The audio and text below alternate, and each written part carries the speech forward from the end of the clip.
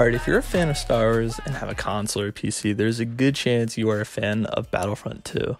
Now, in 2024, we all know the sad cancellation of updates, Battlefront 3 being absolutely scrapped for this thing. But honestly, with no promise of a sequel, it is putting the future of Star Wars gaming in jeopardy. As of right now, there isn't a fresh Star Wars FPS game, and it seems like developers have been leaning more into adventure and open world games.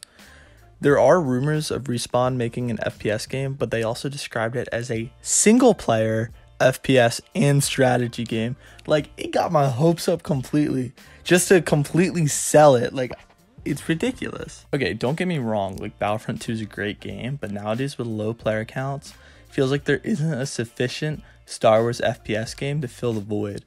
But if there is a Battlefront 3, it would definitely get Star Wars gaming back on track and this is because when you think of Star Wars, you think of huge battles with different characters, soldiers, weapons, abilities, like everything you possibly think of all in one. That's just what Star Wars is. And I feel like that's not being captured right now in the gaming scene.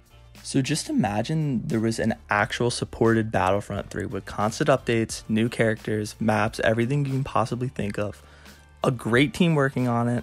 If they actually did it right with no payment transactions, like this and just make it like cod to be honest where the more the higher you level up the more stuff you unlock. It's simple as that. They can use the credits for skins.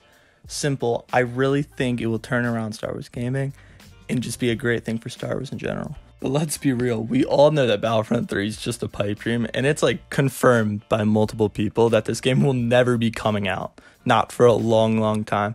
Especially because they're going to be releasing star wars outlaws later this year and possibly even fast tracking a third Jedi game with Cal Kestis. I really didn't even know people actually play that game. I haven't.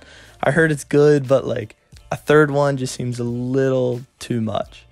Things could not look worse for Battlefront 3 at the moment. Besides that, as of right now, I'm gonna be completely honest, this shit is ass. Like, it used to be hella fun, but with no updates, you can only play this for so long. I mean, I hopped on only for the background gameplay, if I'm being honest. But as of right now, no Battlefront 3 in the future. We can only wish. If you guys want Battlefront 3, let me know down below. Tell me your thoughts about it. Yeah, hopefully hopefully there's a change, but it's not looking good.